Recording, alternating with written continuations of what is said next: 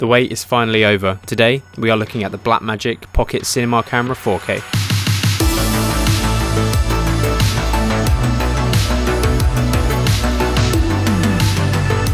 This video is going to be focusing on the physical overview, software overview and usability. So let's take a look at the camera physically and talk about some of its features. Out of the box, you get a copy of DaVinci Resolve Studio, a power supply unit with a range of plug adapters, the software manual on an SD card, and the camera camera feels very good in the hand. It's a little bigger than some of its competition, but the grip feels nice and it's lighter than you may think.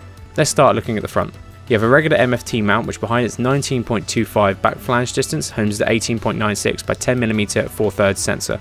This sensor is stated to have 13 stops of dynamic range, a maximum recording resolution of 4K DCI, and dual native ISO of 400 and 3200. Its dual native ISO is one of its most appealing features, when you're adjusting your ISO, it will automatically switch between the two native ISOs of 400 and 3200. When you are between 100 and 1000, it will use the native 400, and then when you're between 1250 and 25600, it will use 3200 as its native. That means if you're shooting at 1000, you're better off cutting out some light and switching to 1250 to get a cleaner image. You also have two front facing microphones, a tally light and a scroll wheel with button function for controlling aperture. You also have two intake and one exhaust fan. Make sure not to block these. Moving on to the side, you have a range of ports. You have a 3.5mm mic in for mics like Rode's VideoMic Pro, a headphone out for checking audio, a full-size HDMI for monitors. This outputs a 1080p 10-bit 42 image, a USB-C which can be used for recording directly to ex external SSDs as well as power, a 12 volt 2 pin port for remotely powering the camera, and a Mini XLR for higher quality mics. This also has phantom power. On the other side you have your card slots, one CFast and one SD UHS-2 card slot. On the bottom you have a quarter inch thread for mounting, there are a few locating pins here also, and a door to the battery. The battery is your standard LP-E6. Blackmagic say you get roughly an hour of recording with one LP-E6, but from our personal experience it's much less than that. You can remove the battery door cover and it doesn't affect your recording. On the top of your camera, you have a second mounting point. This is great as it means when you're mounting a cage, you have two points of contact which will get rid of the regular issue cameras like this have with spinning while mounted in cages. It also has a speaker, two recording buttons, a still button, three function keys which you can rebind, the power on off switch and buttons to toggle adjusting ISO, shutter speed and white balance. Finally, onto the back. Here we have the huge 5 inch Full HD touchscreen. The screen is a very decent size, touch controls are really responsive and it's decently bright but not enough for shooting on really sunny days. Just to the right of the screen, you have several buttons. Auto iris, focus. With the autofocus of this camera, the center point can be moved about. You can do this by simply tapping on the screen. However, this only works with some lenses at the moment and doesn't work with Metabones. I think Metabones need to put out an update first, but we'll keep you guys updated whenever that happens. If you want to reset the focus point to the center, you just double press the focus button to reset it. High frame rate mode toggle. This toggle automatically switches you to the last off-speed frame rate that you used in the resolution you are shooting in. This is an awesome little detail. Zoom, this punches in digitally two times and you can then drag around either using the top left guide for precise control or the main touchscreen for larger movements. Menu for accessing the full menu system and playback. So playback has a bit of a quirk. If you switch between either ProRes or RAW or between different resolutions within ProRes or RAW, you will not be able to view the clips shot in the different modes. So, for example, if I shoot some clips in DCI 4K RAW and then some clips in UHD RAW, I will not be able to see them both when I hit the play button, just the mode that you are in. Same thing goes for if you're shooting between ProRes and RAW. So if you want to view your ProRes clips, you have to be in ProRes in the menus. And if you want to view your RAW clips, you have to be in RAW in the menus. This is a bit of a weird quirk, but I'm sure it's something that Blackmagic can fix with a firmware update.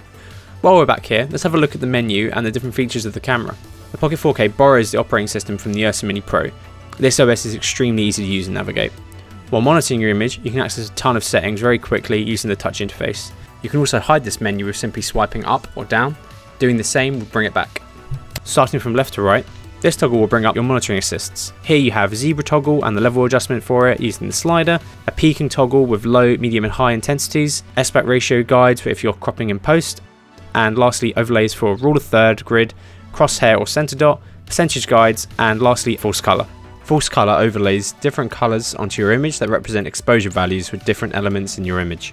For example, pink represents your optimum exposure for Caucasian skin tones, while green is the good match for darker skin tones. By monitoring the pink or green false color when recording people, you can maintain consistency in skin tones given the same ISO.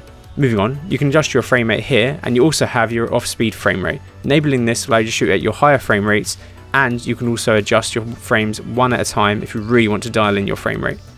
Next is shutter. Here you can adjust your shutter speeds slash angle and also enable auto exposure of which there are several different modes. After that you have iris. Here you can slide to adjust your aperture on lenses that are recognised and again you have auto exposure modes. In the centre you have time code which you can toggle between free run and record run. Next is ISO, we have a slider for adjusting. You then have white balance, here you have your regular presets, a custom white balance setting with tint adjustment and an auto white balance reading, which uses a center scan. You can also then see your tint next to that, and then your battery source and percentage remaining. Moving on to the bottom, you have your histogram, record button, then your two media ports, one being the CFast and two being the SD card. If you tap on the source, you'll see more detailed information about your media and also format everything. I would suggest using exFAT. If you plug in an SSD via the USB-C port, it will actually pop up under slot 2. Last but not least, you have your audio levels. Tapping on these will allow you to adjust your levels and headphone out volume. If you swipe left or right on your main view, you'll bring up the slate or metadata options. The slate is separated into clip and project. Clip is information that you may change clip to clip, and project is where you enter details that are going to stay consistent on a certain project. Metadata entered into the slate is viewable over the HDMI when output is set to director's view. Let's start with the clip. Slate 4 shows the clip that this metadata applies to. In standby mode, or waiting to roll, it will say next clip, and in playback mode, it will say good take. Lens data will take you into another menu screen and allows you to record a description of the lens, aperture, focal length, focus distance, and note down what filter you are using. Depending on the lens, your metadata may be passed through automatically. You then have other metadata changes you can make to match your slates. After that, you have project. Within here, you have the ability to add a project name, director, camera, and camera operator. Let's delve deeper into the menus. When you hit the menu button on the back of the camera, you're greeted with this menu. From here you can select from 6 different menus which lead to the deeper sub-menus. Record allows you to change between the two currently available formats, Cinema DNG and ProRes. You can shoot lossless, 3 to 1 and 4 to 1 Cinema DNG, 3 to 1 and 4 to 1 being compression ratios. Cinema DNG is a bit of a difficult codec, so we're really hoping that Blackmagic release their new RAW on this camera as soon as possible. You can also shoot ProRes in HQ, 42, LT and Proxy.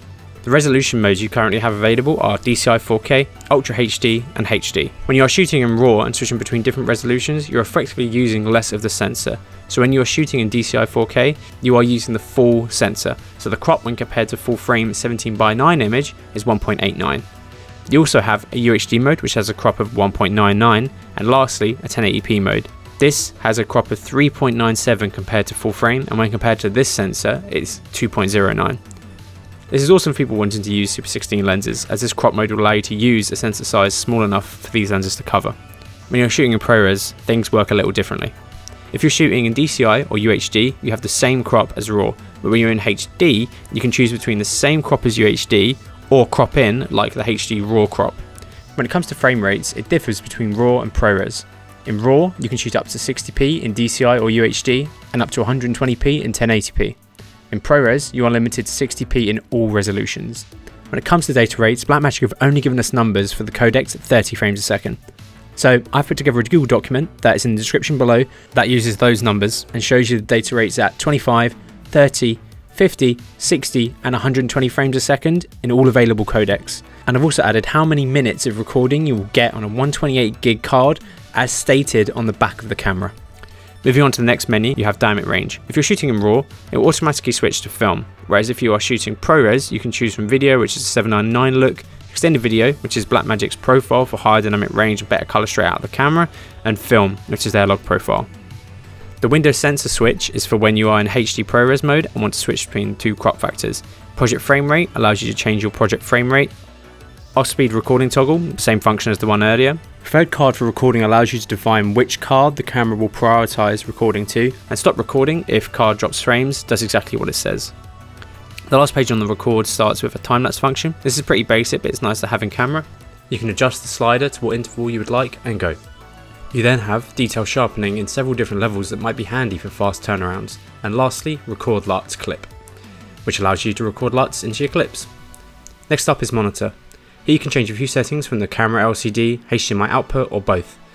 You can enable a range of monitoring settings that are similar to the ones in the quick access menu on the home screen.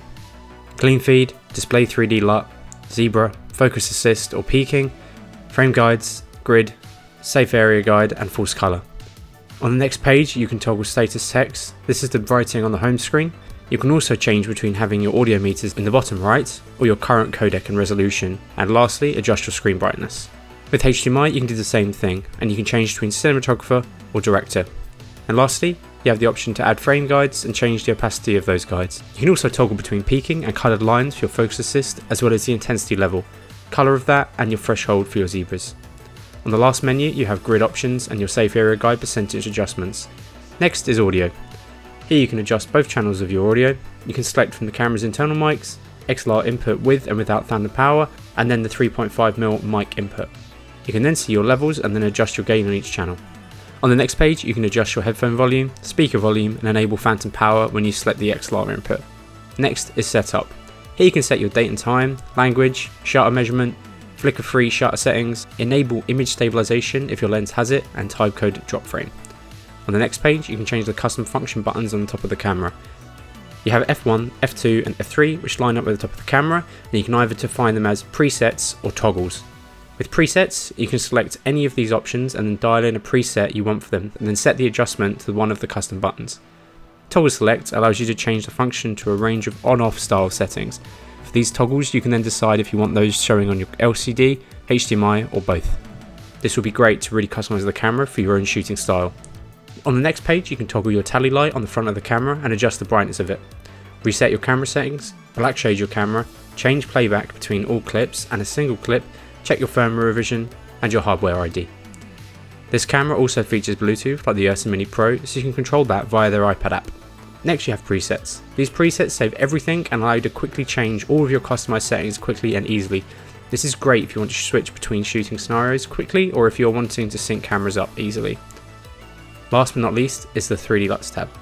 This is great if you have LUTs you know would suit a certain project and you want to be monitoring the image as it could turn out. You can load in a max of 10 LUTs. So that's our overview of the camera. Make sure to check out our other videos on the Blackmagic Pocket Cinema Camera 4K in the description below.